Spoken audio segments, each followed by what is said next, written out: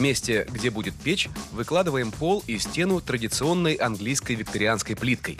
Состоит она из отдельных геометричных элементов. Но поскольку они не наклеены на сетку, то из них можно создавать свои формы, сочетание цветов и делать свою толщину шва. Цвета и раскладка нашего ковра типично английские. Рисунок при этом выглядит объемно, а главное, он не стирается. И на ощупь плитка будто бархатная. И снова начинаем от печки. Но сначала дымоход.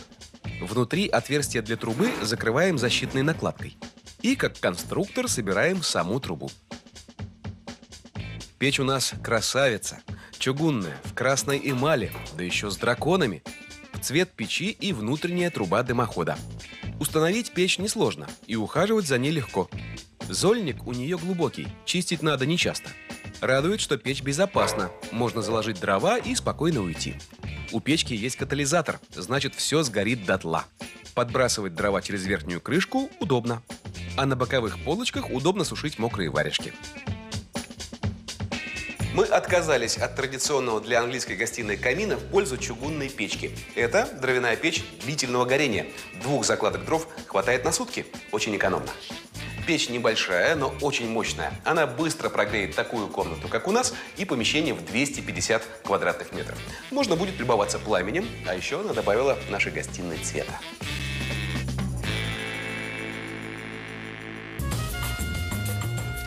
А сейчас давайте вернемся к печке, ведь на ней можно и готовить.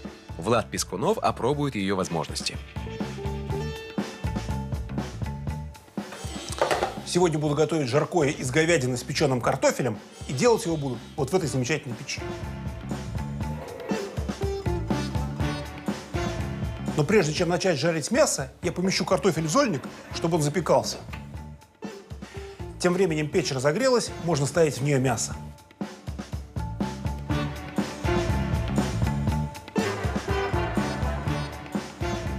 Помидорки и фиолетовый лук станут украшением блюда, но сначала я их обжарю.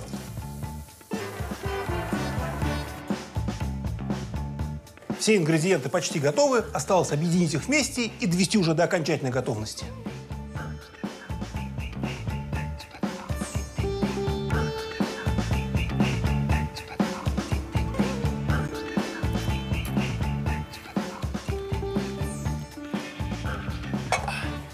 Жаркое из говядины с картофелем, запеченное в дровяной печи. Необыкновенно ароматное, очень вкусное и сытное блюдо.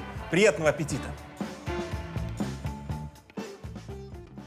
Ничего себе! Кстати, вот Это такая пе- печь, да. Ничего себе. А это, Ох как ты. просил Егор, я так понимаю.